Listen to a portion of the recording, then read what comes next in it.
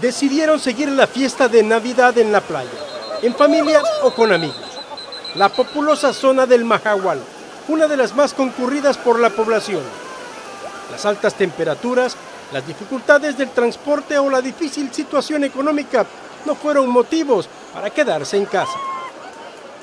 Todos hacemos el esfuerzo para cada año venir acá para estas fechas, estar con la familia, con ellos y disfrutarlas. Yo creo que lo máximo, todo lo que, podemos decir, lo máximo. Y, este, y extrañando a todos los amigos también que están allá y los que no pueden, la verdad, los extrañan mucho. más que todo siempre visitamos esta playa porque es bonita y la comida, la playa es limpia, nítido. A los socorristas en temporadas altas se les complica la vigilancia, especialmente con los ebrios. Es difícil que acaten las recomendaciones por su estado, eh, se ponen de una manera un poco bruscas y iguales, vale, ¿verdad? Entonces lo que hacemos es eh, ser insistentes hasta llamar su atención. También los comerciantes se favorecen de esta temporada. No era la cantidad que esperaban, pero hubo movimiento de turistas, que es lo más importante.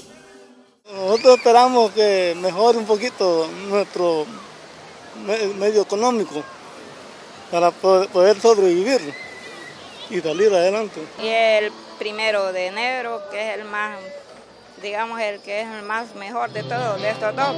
De ahí, por lo general, entre semanas, ahorita siempre está entrando gente, siempre está viniendo gente.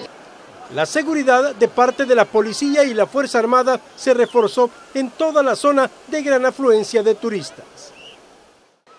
La actividad de este 24 y 25 prácticamente ha sido historia para muchos turistas y comerciantes.